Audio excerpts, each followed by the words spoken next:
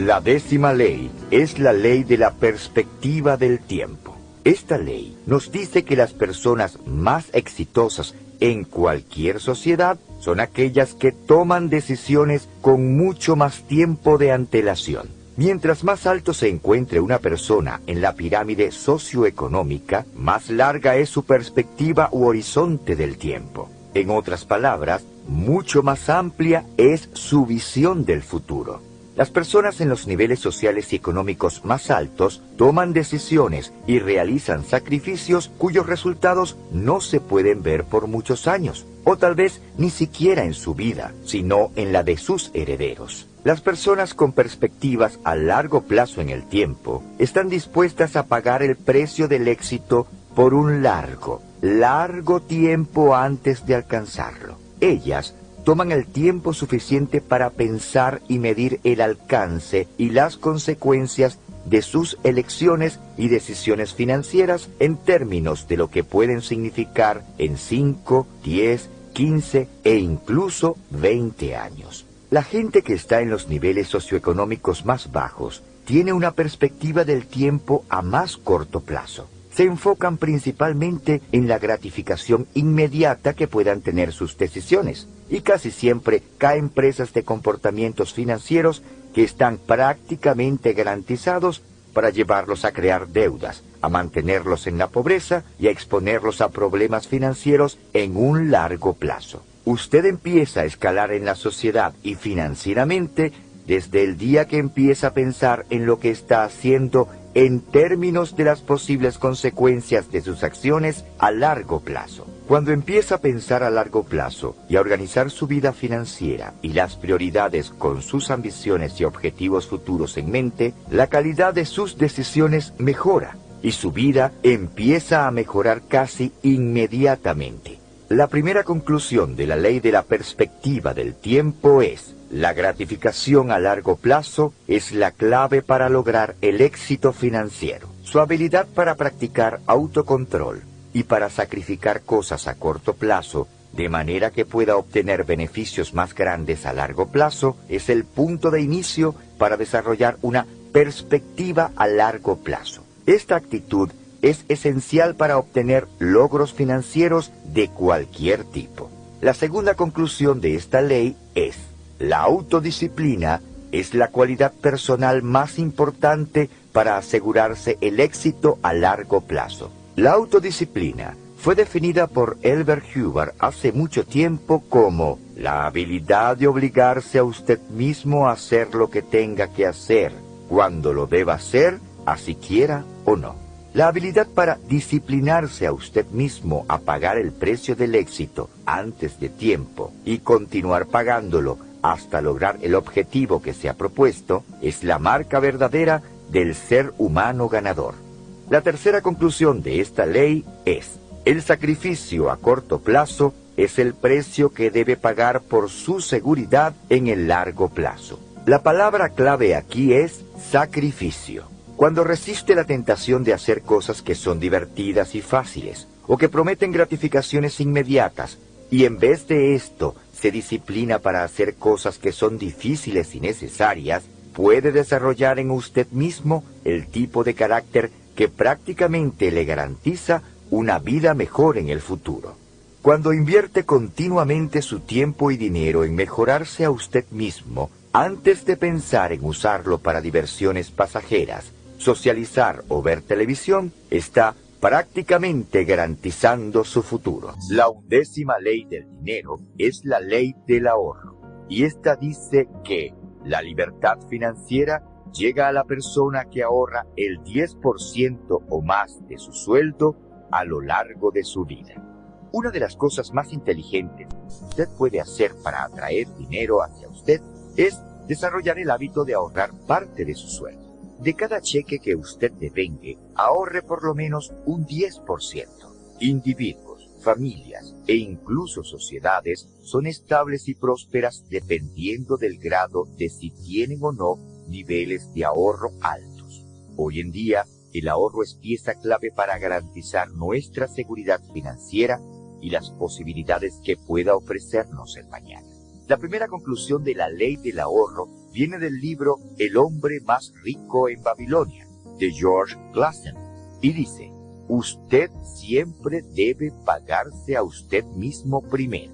Empiece hoy mismo a guardar el 10% de su sueldo y no lo toque. Este es su ahorro para acumulación financiera a largo plazo y nunca lo use para otra razón que no sea asegurar su futuro financiero.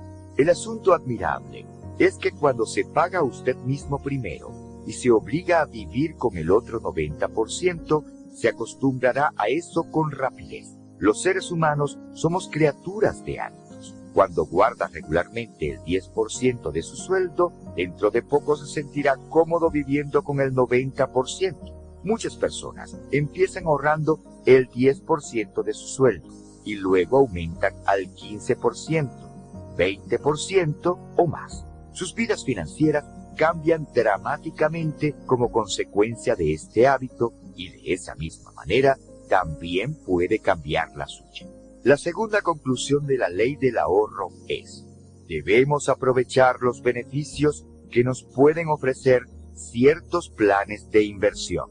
Uno de nuestros mayores objetivos financieros debe ser el proteger el dinero que duramente hemos ganado y que hemos ahorrado del pago excesivo de impuestos. Todos debemos pagar cierta cantidad de impuestos. Sin embargo, muchas personas pagan muchos más impuestos de lo que deberían por el desconocimiento de las leyes que afectan su dinero. Y aunque esto es algo que varía grandemente de país a país, lo cierto es que la gran mayoría de las economías ofrecen vehículos financieros que le permiten a las personas minimizar el pago de impuestos e intereses, garantizando así un ahorro mucho más efectivo. Invierta en planes de pensiones o retiro de la compañía para la cual usted trabaje. Esto generalmente trae grandes beneficios. Consulte a un planificador financiero o asesor de inversiones, ya que hay inversiones que son mucho más rentables que otras. No obstante, tenga siempre presente que usted es el único responsable por salvaguardar su dinero. Entonces, empiece a guardar desde hoy el 10% de sus ingresos. Abra una cuenta especial con este propósito y trate sus depósitos en dicha cuenta con el mismo respeto con el que trata sus pagos de arriendo o hipoteca cada mes. Si debe cubrir muchas deudas y considera que le es imposible ahorrar un 10% de sus ingresos, comience con el 1% y viva con el otro 99%. Y cuando se sienta cómodo, suba el ahorro al 2%. A lo largo del tiempo, suba la tasa a 10, 15 e incluso a 20% de su sueldo. La duodécima ley del dinero es la ley de la conservación. Esta ley dice que no es cuánto gane, sino con cuánto se queda lo que determina su futuro financiero. Muchas personas ganan gran cantidad de dinero en el curso de su vida laboral. A veces, durante periodos de riqueza, ganan más dinero de lo que jamás pensaron que fuera posible. No obstante, la medida verdadera de qué tan bien le está yendo es con cuánto dinero se queda al final del día y cuánto dinero logra ahorrar del total de sus ingresos. La gente exitosa suele ser muy rigurosa en lo referente al ahorro, al pago de sus deudas o sus inversiones durante tiempos prósperos solo porque desean tener reservas para cuando las circunstancias económicas sean menos favorables. Calcule su patrimonio personal a partir de hoy. Haga una lista de sus activos y asígneles un valor en dinero de acuerdo a la cantidad que podría percibir por ellos si los tuviera que cambiar rápidamente por dinero. Sume todas sus cuentas, sus balances de tarjetas de crédito e hipotecas y réstelos de sus activos para saber cuánto tiene en dinero neto hoy en día. Ahora, divídalo por el número de años que lleva trabajando. El resultado es la cantidad neta que ha ganado cada año después de pagar todos los costos de vida. ¿Está contento con eso? Si no lo está, haga algo al respecto. La decimotercera ley del dinero es la ley de Parkinson. Esta ley dice que para cualquier persona, casi siempre sus gastos suben hasta igualar sus ingresos. La ley de Parkinson es una de las leyes más conocidas y más importantes acerca del dinero y de la acumulación de riquezas. Fue desarrollada por el escritor inglés C. Northcote Parkinson hace muchos años y explica por qué muchas personas se retiran pobres. Esta ley dice que, sin importar cuánto dinero ganen las personas, siempre tienden a gastarse la totalidad del dinero obtenido por su trabajo. En ocasiones, hasta un poco más que eso. Muchas personas están ganando hoy en día varias veces más de lo que ganaban en su primer trabajo, pero de alguna manera parece que necesitaran cada centavo para mantener su forma de vida actual. No importa cuánto ganen, nunca parece ser lo suficiente. La primera conclusión de la ley de Parkinson es, la independencia financiera es el resultado de violar la ley de Parkinson.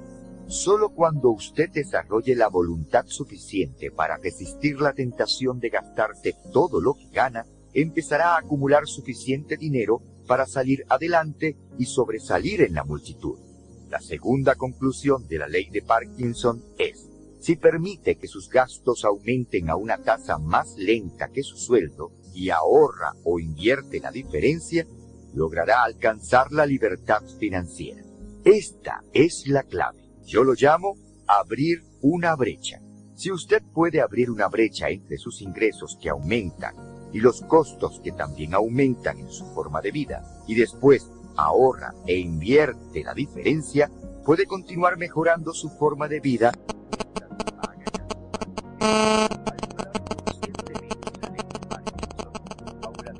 Se conseguirá la independencia financiera. De aquí en adelante, tome la decisión de ahorrar e invertir el 50% de cualquier aumento que reciba en su sueldo o de cualquier otra fuente. Aprenda a vivir con el resto. Ahorre el 50% de cualquier cantidad que reciba de cualquier fuente. Esto le deja el otro 50% para hacer con él lo que desee. La decimocuarta ley es conocida como la ley del 3. Esta ley dice que la mesa de la libertad financiera tiene tres patas, ahorros, seguros e inversiones. Una de sus responsabilidades más grandes hacia usted mismo y hacia la gente que depende de usted es crear una fortaleza financiera alrededor suyo a lo largo de su vida. Su trabajo es crear un estado en el cual pueda estar seguro de no sufrir las inseguridades financieras que sufren otras personas. Para lograr este objetivo, debe mantener las proporciones adecuadas de sus finanzas en cada uno de estos parámetros. Ahorros, seguros e inversiones. La primera conclusión de la ley de tres es, para estar totalmente protegido contra lo inesperado, necesita ahorros líquidos equivalentes a entre dos y seis meses de gastos normales. Su objetivo financiero es ahorrar suficiente dinero para que si llegara a perder su fuente de ingresos durante seis meses, tuviera suficiente dinero ahorrado para que le durara esos seis meses. La misma acción de ahorrar esta cantidad de dinero y ponerla en una cuenta de ahorros con altas ganancias en una cuenta del mercado de dinero le dará una gran confianza y paz interior. Saber que tiene este dinero guardado lo convertirá en un ser humano mucho más efectivo de lo que sería si estuviera preocupado por su próximo cheque y su próximo mercado. La segunda conclusión de la ley del 3 es, usted debe asegurarse adecuadamente para estar preparado para cualquier emergencia que no pueda pagar con su cuenta bancaria. Independientemente de lo que usted pueda pensar sobre los seguros, o independientemente de cuáles sean las normas que gobiernen esta industria en su país de residencia, lo cierto es que una gran mayoría de nosotros necesitamos de la protección que pueda proporcionarnos una póliza de seguro. Es importante siempre contar con la cobertura apropiada de una póliza de seguro para protegerse contra una emergencia donde no pueda escribir un cheque para cubrir dicha emergencia. Tenga una póliza de seguro de salud para usted y sus seres queridos en caso de una emergencia médica asegure su auto contra los daños que puedan ocasionarse en un accidente. Asegure su vida de tal forma que si algo le sucede a usted, las personas que dependen directamente de usted y de sus ingresos no queden desamparadas. Tal vez el deseo o necesidad más profunda de la naturaleza humana es el deseo de seguridad, y sin seguros adecuados está tomando riesgos que simplemente no puede darse el lujo de tomar. Así que investigue tanto como pueda al respecto. Recuerde, es su responsabilidad. La tercera conclusión de esta ley es, su máximo objetivo financiero debería ser acumular capital hasta que sus inversiones le generen más ingresos a usted de lo que gana en su trabajo. Su vida está dividida aproximadamente en tres partes, aunque éstas tienden a mezclarse entre sí. Primero, están los años dedicados al aprendizaje, donde crece y se obtiene la educación formal o informal. Después están los años de la producción, aproximadamente desde los 20 hasta los 65 años de edad. Y finalmente vienen los años dorados, donde suele uno retirarse o pensionarse con una esperanza de vida de 80 años o más. La estrategia financiera más simple y más efectiva de todas es ahorrar e invertir su dinero a lo largo de su vida de trabajo hasta que sus inversiones le paguen más de lo que gana en el trabajo. En este punto, puede empezar a pensar en retirarse de su trabajo regular y emplear su tiempo administrando sus activos. Recuerde que el momento de su retiro tiene poco que ver con su edad cronológica y sí mucho que ver con el que pueda vivir de la renta o de la fortuna que haya podido amasar a lo largo de su vida productiva. Esto puede parecer una estrategia muy simple para planear su vida, pero es impresionante cómo pocas personas la siguen y cómo muchas terminan a la edad de 65 años con muy poco dinero ahorrado. En los Estados Unidos, por ejemplo, la persona promedio hoy en día tiene un patrimonio personal neto de tan solo 31 mil dólares, además de su ingreso de seguridad social. No permita que esto le suceda a usted. La decimoquinta ley del dinero es la ley de la inversión. Esta ley nos advierte que debemos investigar antes de invertir. Esta es una de las leyes del dinero que las personas más acaudaladas encuentran más importante. Usted debe invertir el tiempo necesario estudiando cada una de las inversiones. De esta ley se deriva que las ganancias que pueda derivar de una inversión en particular van en proporción directa al tiempo que hay dedicado estudiando dicha inversión. Nunca permita que otras personas lo persuadan para que se separe del dinero por el cual tan duramente ha trabajado y el cual ha podido ahorrar haciendo grandes sacrificios. Así que Investigue cada aspecto de cualquier inversión antes de dar el primer paso. Pida todos los detalles de esta antes de comenzar. Exija información honesta, precisa y adecuada de cualquier inversión. Si tiene cualquier duda, será mejor que ahorre el dinero en un banco o en una inversión segura, ya que no puede arriesgarse a perder. La primera conclusión de la ley de la inversión establece que lo único fácil acerca del dinero es perder.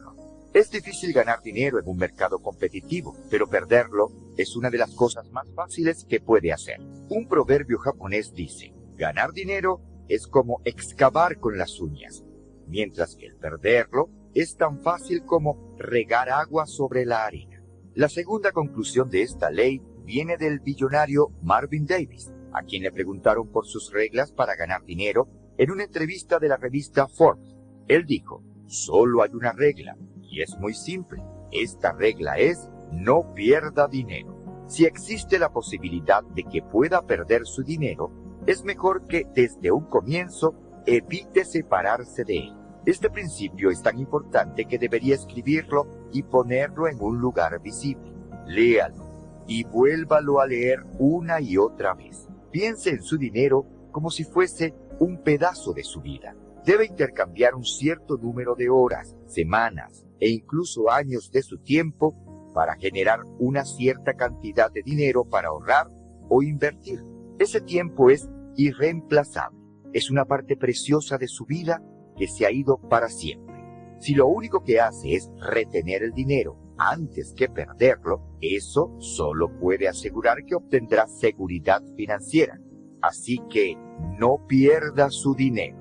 La tercera conclusión de la ley de la inversión es, si puede darse el lujo de perder un poco, va a terminar perdiendo mucho. Hay algo sobre la actitud de una persona que siente que tiene suficiente dinero y que puede darse el lujo de perder un poco. Recuerde el viejo dicho, un tonto y su dinero son fácilmente separables.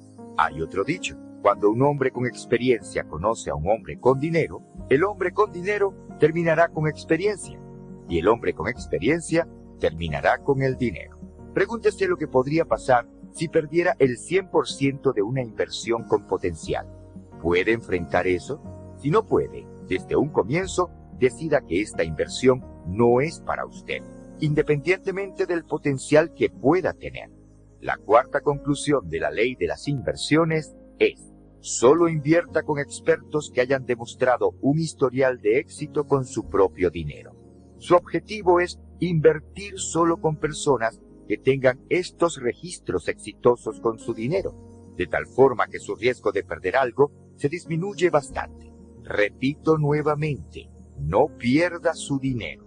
Si alguna vez se siente tentado a hacerlo, vuelva a leer esta regla y decida no perder lo que tiene.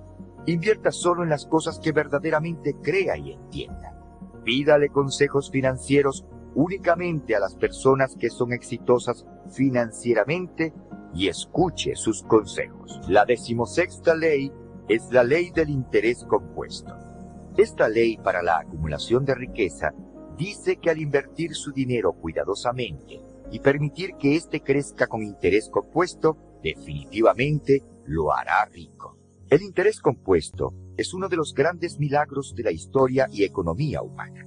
Albert Einstein lo describió como la fuerza más poderosa en nuestra sociedad, cuando permite que más dinero se acumule con interés compuesto en un largo periodo de tiempo, incrementa más de lo que se pueda imaginar. Existe una regla llamada la regla del 72, que le permite a usted determinar cuánto tiempo le tomará a su dinero para duplicarse, independientemente de la tasa de interés a la que esté creciendo. Simplemente divida el número 72 entre la tasa de interés y el resultado que obtenga corresponde al número de años que le tomará a su dinero duplicarse. Por ejemplo, si está recibiendo el 8% de interés en su inversión y divide el número 72 en 8, obtendría un número 9. Esto significa que el dinero invertido con un interés del 8% tardaría 9 años en duplicarse.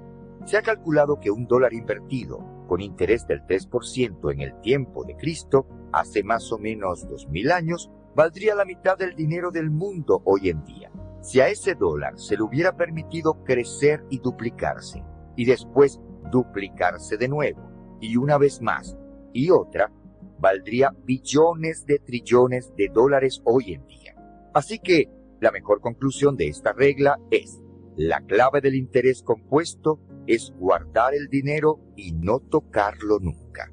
Una vez que empiece a acumular dinero y éste comience a crecer, nunca debe tocarlo o gastarlo por ninguna razón. Si lo hace, pierde el poder del interés compuesto y aunque solo gaste una pequeña cantidad hoy, perderá lo que podría ser una enorme fortuna más adelante. Si empieza a ahorrar desde temprana edad, si invierte consistentemente y si nunca extrae dinero de sus fondos y depende del milagro del interés compuesto, tenga la plena seguridad que se hará millonario.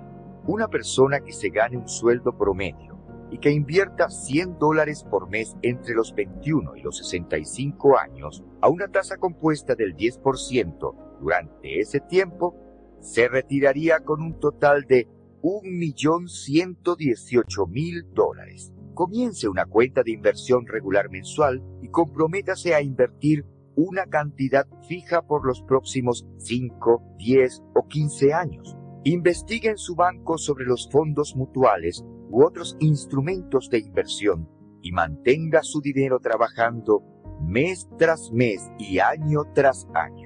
Hola amigas, amigos, ¿cómo están? Espero que hayan disfrutado de este video y vamos a hacer juntos un breve repaso de las siete leyes del dinero que vimos hoy. La décima ley es la ley de la perspectiva del tiempo.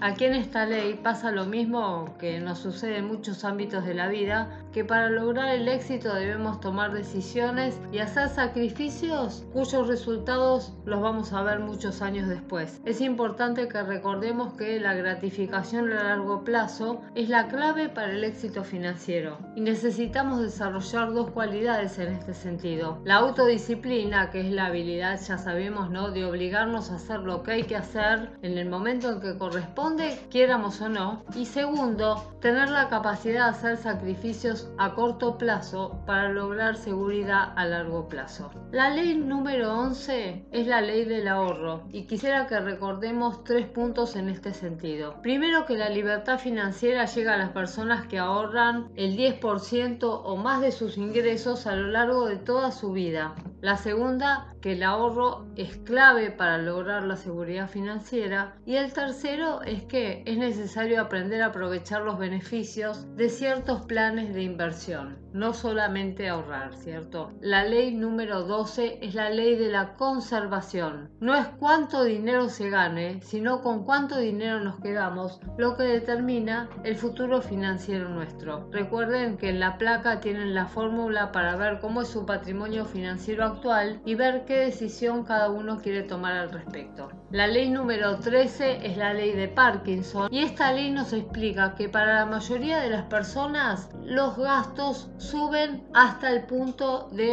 de igualar los ingresos. Y hay dos puntos que quiero destacar en este sentido. La independencia financiera es el resultado de violar esta ley. Y lo segundo, que si permites que tus gastos aumenten a una tasa más lenta que los ingresos y ahorras e inviertes la diferencia, a largo plazo vas a poder lograr la libertad financiera. La ley 14, recuerdan, es la ley del 3 y dice que la libertad financiera tiene tres bases que son el ahorro, los seguros y las inversiones. Lo primero es el ahorro líquido que saben que es el equivalente es tener un ahorro equivalente a dos o seis meses de gastos normales, lo ideal son seis meses, y ponerlo en una cuenta que genere ganancias. La segunda es tener seguros para cualquier emergencia que no se pueda pagar con la cuenta, ya sea un seguro de vida, cobertura médica, todo ese tipo de seguros.